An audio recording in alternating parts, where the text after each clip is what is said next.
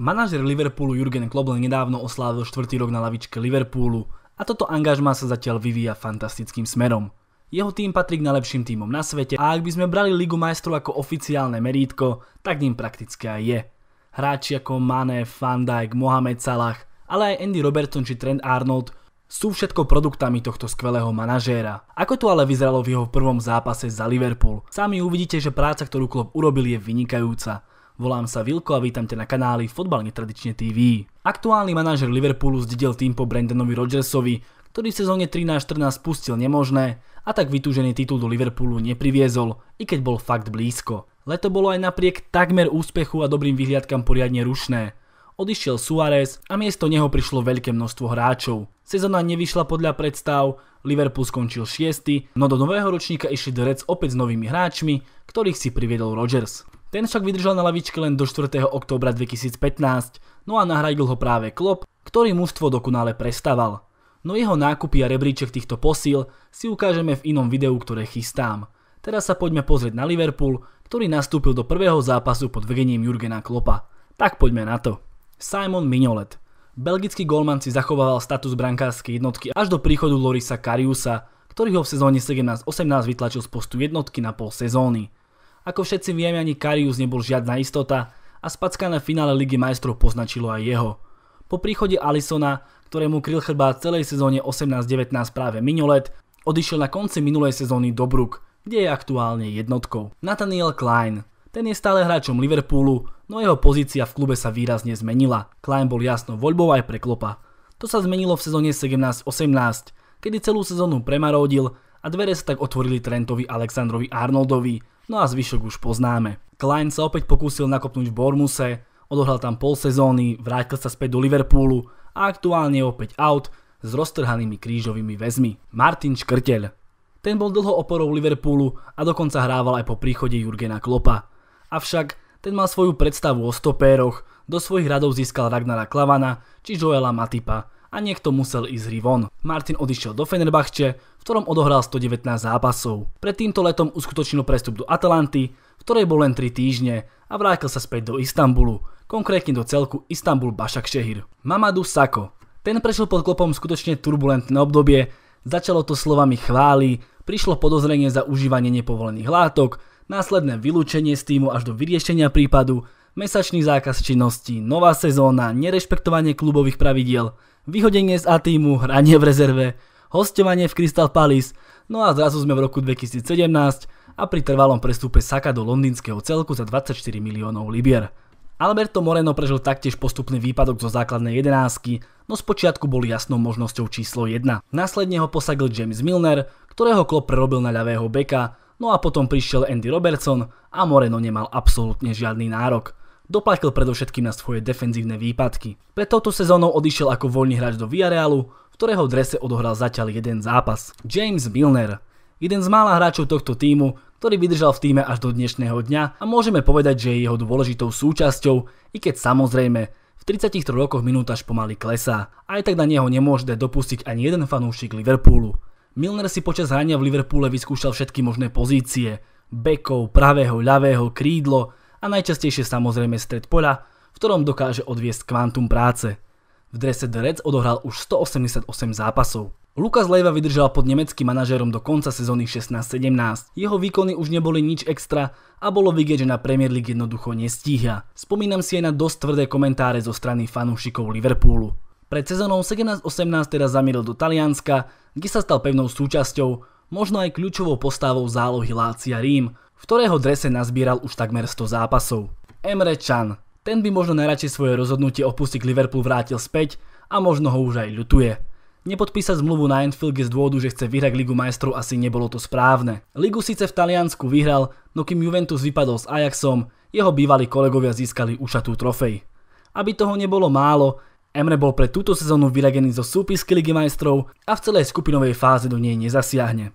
Adam Lallana je stále hráčom Liverpoolu, no jeho posledné sezóny sú pre neho skôr nočnou morou ako plnením si detského sna. V sezóne 17-18 odohral v Premier League len 236 minút, o rok neskôr to bolo 464 minút, no a v súčasnom ročníku zatiaľ len 10 minút. Časté zranenia si jednoducho vypýtali svoju daň a kariéra tohto sympatického Angličana sa v Liverpoole blíži ku koncu. Filipe Coutinho jedným z ďalších hráčov, ktorí si svoju kariéru po odchode z Liverpoolu predstavovali trošku inak. Jeho snom bolo pripojiť sa k Barcelone, vyslovene na to tlačil, až Liverpool v januári roku 2018 povolil a prijal 140 miliónovú ponuku za šikovného Brazílčana. Od tej doby vyhral Coutinho dvakrát La Ligu, ale výkonnostne sa v Barcelone trápil a už pred týmto letom opustil Camp Nou a hostuje v Bayerne. Od jeho odchodu bol Liverpool dvakrát vo finále Ligy majstrov, raz vo finále aj úspel. Divok Origi, hrdina minulosezónnych zápasov predovšetkým v Lige majstrov. Dva góly Barcelone, jeden Spurs a hrdina je na svete.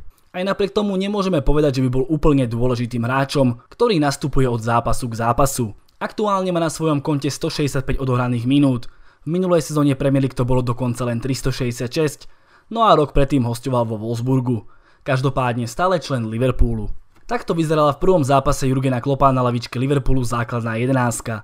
Ako môžeme vidieť, tým sa od tej doby poriadne prekopal aktuálne ani jeden z týchto hráčov nie je hráčom vyslovene do základnej 11. Najbližšie k tomu má samozrejme James Milner, no Lalana, Origi či Klein sú skôr okrajovými hráčmi mužstva. Tu vidieť, ako to pekne Klopp prebudoval a vedie Liverpool k tak vytúženým trofejám. Poďme sa ešte pozrieť na lavičku, pretože to bude ešte viac zaujímavé. Adam Bogdan – tento chlapík toho pod klopom veľa neodchytal. Narátal som 4 zápasy, tak snáď som to spočítal dobre. Počas pôsobenia nemeckého manažera v Liverpoole dvakrát hostoval. Raz vo Vigene a raz v škótskom Hibernians, z ktorého sa na konci minulej sezóny vrátil. S Liverpoolom už však skončila zmluva a aktuálne je stále bez klubu. Kolo Touré.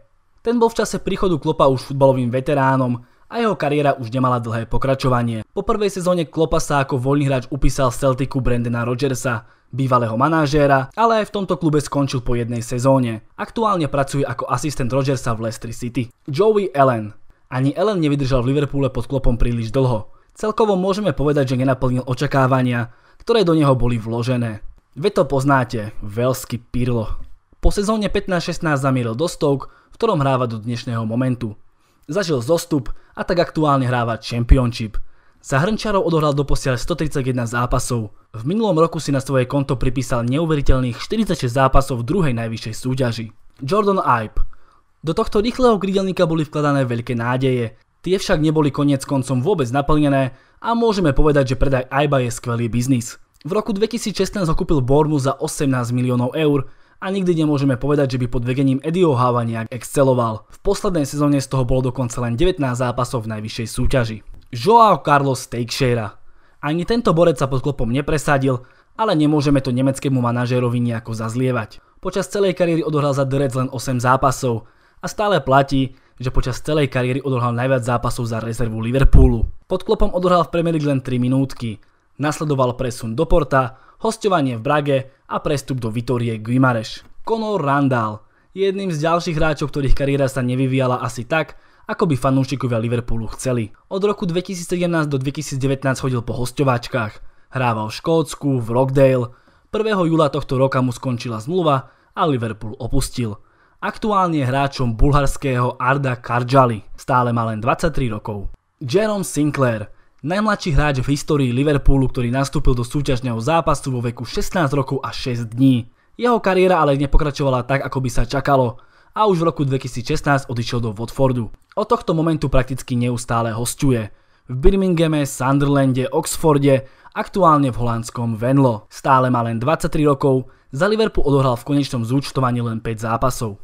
Takto by sme mohli uzavrieť celú zápasovú súpisku, ktorá mohla zasiahnuť duelu zo Spurs. Náhradníci, ktorí dostali šancu boli Joey Allen a Jordan Ibe. Zvyšok presegal na lavičke a ako ste mohli počuť, ich kariéra v Liverpoole nepokračovala veľmi úspešne. Aby som vás neukratil o ďalšie mená, ktoré do zápasu nenaskočili, tak som sa pozrel aj na ďalších 5 hráčov, ktorí boli v tom čase súčasťou klubu. Nevyberal som úplne všetkých futbalistov, ktorí dostali šancu, ale fakt len tie 5 top mená. Tak poďme na to. Jose Enrique. Prakticky už od sezóny 13-14 sme ho nemohli vidieť na trávniku, predovšetkým kvôli zraneniam. Veď v posledných 3 rokoch svojej liverpoolskej kariéry odohral v Premier League len 12 zápasov, pod klopom dokonca žiaden. Nemecký manažer mu doprial len 3 zápasy v FA Cup. Je tak logické, že v roku 2016 v Liverpoole skončil. Svoju kariéru sa pokúsil naštartovať v Reále Zaragoza, v ktorej hral len jeden rok a s futbalom definitívne skončil. Aktuálne má stále iba 33 rokov. Roberto Firmino. Paradoxne najlepší hráč celého zoznamu v tomto zápase nehral kvôli zraneniu chrbta. V ďalšom zápase už naskočil z lavičky a všetci veľmi dobre vieme, akým dôležitým hráčom sa Firmino stal. Zostavu si bez neho prakticky ani nevieme predstaviť a okrem golov dáva hre nový rozmer aj po taktickej stránke, keďže to nie je klasický útočník, no skvele vytvára priestor práve pre Maného so Salahom. V Liverpoole odohral 204 zápasov, strelil 69 gólov a zaznamenal aj 54 asistencií. Dejan Lovren je samozrejme taktiež stále hráčom Liverpoolu, jeho minúta však ide dole. Nie sa čo čudovať. Často kritizovaný, niekedy neprávom, no zhodneme sa, že to nie je až taká tragédia, ako sa často hovorí. Za Liverpool odohral 172 zápasov. Christian Benteke bol takmer okamžite klopom popravený. Jednoduchý dôvod. Absolútne nezapadal do behavého systému nemeckého kormidelníka. Kým Benteke mal byť pod Rodgersom úderné kladivo, v klopovom systéme nemal absolútne šancu. Hneď najbližšie leto bol predaný do Crystal Palace za 31 miliónov libier. V drese Liverpoolu tak odohral behom jedného roka 42 zápasov, respektíve 2232 minút a strelil 10 gólov. Jordan Henderson taktiež absentoval na zápasovej súpiske. Jeho kariéra bola ako na hojdačke, pretože v prvotnom pôsobení čelil obrovskej kritike. Tá sa objavila aj neskôr, no z Hendersona sa stal neskôr líder, kapitán mužstva. Často mu vyčítali jednoduché prihrávky do strán, dozadu, no táto doba je už dávno preč a Henderson je členom základnej 11 Liverpoolu a tiež Albionu. V drese The Reds odohral už 335 zápasov. No a to je všetko. Pekná prestavba za 4 roky, čo poviete? Takto to vyzerá, ak futbal robia ľudia s víziou a plánom. Práca Klopa, ale aj Liverpoolu je skutku obdivuhodná. Mňa by zaujímalo, či vám niekto z týchto hráčov, ktorí už nie sú súčasťou klubu v Liverpoole chýba. Bude to Coutinho, Emre Can, nebodaj Martin Škrtel? Napíšte do komentu. Ja sa s vami pre dnešok už lúčim, volám sa Vilko a hovorím ti nazdar.